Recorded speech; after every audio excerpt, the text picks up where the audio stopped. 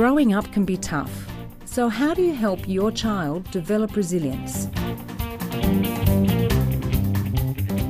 Things don't always go to plan. As adults, we have skills to deal with these things. I think that we need to take a step back and specifically teach kids to be resilient. Resilience is about bouncing back in terms of problems that they might come across in life and being able to turn around, brush yourself off and start again and be able to interact effectively with their peers. Need to focus on a child's strengths rather than waiting for a problem to occur and dealing with the problem. Look at the positives all the time.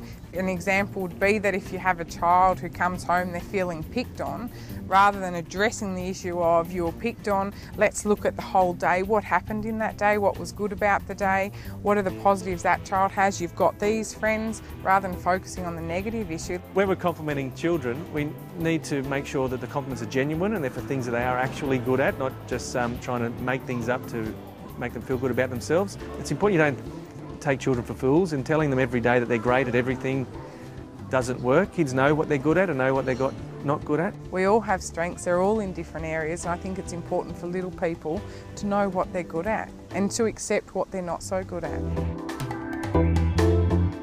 Involve them in outdoor activities, I think that's a really good way. Um, they're able to socialise, um, extracurricular activities where they can actually bond with friends and different people in different contexts, in different situations. I think schools are safe havens for many children. So putting them out in different, different um, environments is a really good way of developing resilience because they've had to react to different people in different ways. I think there's definitely a link between physical activity and self-esteem and confidence. By being in a team, they learn how to communicate, they learn how to interact, they learn how to problem solve. And so in sporting situations, all those skills get developed.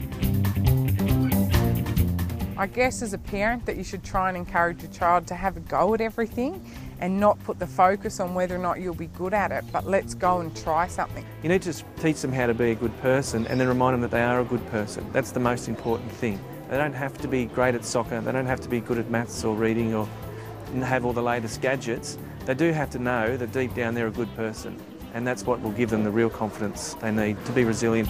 I think sometimes as parents we, uh, we get a bit too overprotective. I think it's we, we jump in too quickly sometimes, and, and uh, so our children don't make mistakes. And um, children will make mistakes. We make mistakes, but we learn from those mistakes. It's all a part of that resilience building, isn't it?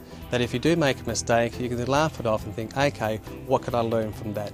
And, uh, and next time we come across a situation, you might do things better. When kids not fail, but when things don't work out always the way you want to, that's a learning opportunity. You can't always succeed all the time. You can't always get 100%, but that informs you on where you need to go and what you need to do to improve. So it can be a really good positive thing to not always get it right. I think the big thing with resilience is that we can't make everything fair. I think sometimes parents go out of their way to make a child's day, life, week fair. Life isn't fair. rather than trying to make things fair for your children, it's more beneficial that you teach children how to cope with things when they're not fair. And generally, if a child can accept something's not fair, that doesn't mean it's okay, but lots of things in this world happen that aren't fair. No one can change that. And for, as a parent, we need to teach from that situation uh, help our children to deal with that. And I think that's so important that we teach children values. We teach them to respect each other, show them what it looks like. What does respect sound like when you're talking to someone else? If a child is resilient, then they have a lot of um, self esteem and they seem to be able to cope with any situation that comes up. So it's very good for a child to be um, resilient and calm. When a parent is modelling um, that calmness, that's showing their children that they should be resilient. I think the most important thing is for parents to help build resilience in, in their children is to one, listen to them and to make sure that if they've got problems to, to help them out. But when they do have problems, not make bigger problems out of them. If there is a, a big enough problem that they need to go to the school, you know, go and talk to them. But what they need to do is to say, it's all right, tomorrow's going to be okay, you know, we'll, we'll talk about it, I'll support you, and tomorrow's a new day, let's give it another go and, and, and be positive with them and to make sure that they're, they're feeling um, comfortable with the situation, that, that it's not a scary thing. They can, they can pick it up and, and go on with it the next day. And you'll find more information about developing your child's social skills at schoolatoz.com.au.